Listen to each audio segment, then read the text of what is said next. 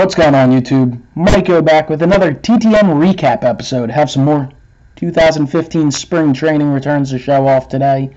Uh, some nice uh, returns here for the PC. First up, former Colorado Rocky. He was in camp with the Los Angeles Angels of Anaheim, of Orange County, of the state of California, of the United States, of planet Earth, in this solar system. Uh, it's ridiculous, but um, Anyway, Ryan Wheeler, a nice two of two success, returned in 10 days on this nice Topps card and a Topps Heritage card. Would have been really nice if the Heritage card was signed up here, but you know, happy with the return either way. Um, so again, two of two su- success in 10 days from Mr. Ryan Wheeler.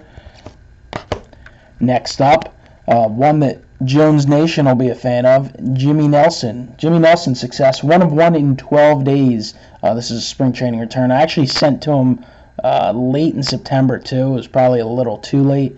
Never received a return there. But uh, one of one in 12 days to Brewer spring training for Jimmy Nelson on this Topps Archives uh, rookie card. So, really nice uh, addition to the collection there.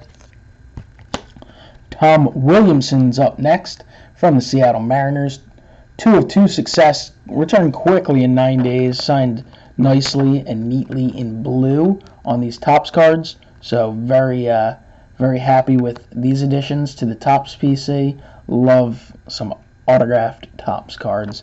And finally today, a one of one success. This was actually sent out in September to Jeremy Guthrie. One of one success in 167 days personalized, signed beautifully in blue. I mean, just an absolutely awesome looking card here.